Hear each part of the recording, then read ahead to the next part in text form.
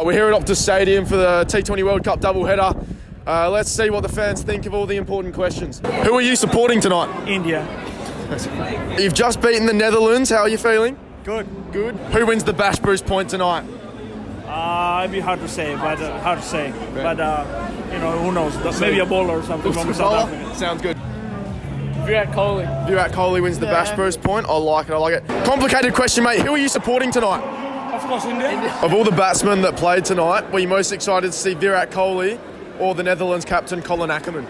Netherlands captain. How do you reckon Pakistan's win over the Netherlands will impact LeBron's legacy? yeah Oh, not really much, I don't Not reckon. very much. No, no. Who's going to win the AFL Premiership next year?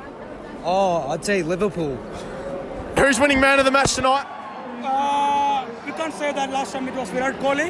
Yeah, so yeah, probably like we will uh, expecting the same thing happen today as well. Do you reckon uh, Liz Truss lasted longer in her position as British Prime Minister than the Netherlands batting side did? I reckon. Does that make up for the loss against India?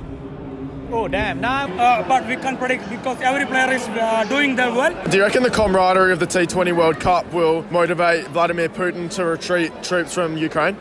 Look, mate, if, it, if this doesn't motivate him, I don't know what will. Uh, Can you tell me why De Kock was so small tonight? You know, the weather right now, it's quite cold, you know, and as you know, you know what happens in the cold weather.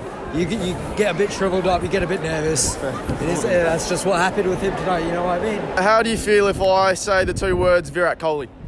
Ah, he's good batsman. Good batsman. Yeah, that's, that's what comes to mind. Respect. Hardik Pandya, Rohit Sharma, and KL Rahul. I don't know, mate. So everyone is brilliant at the moment, you know. So on a scale of shit house to embarrassing, how poor was Virat Kohli tonight?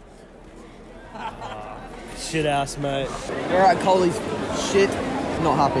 Not happy. so India jitega. India jitega.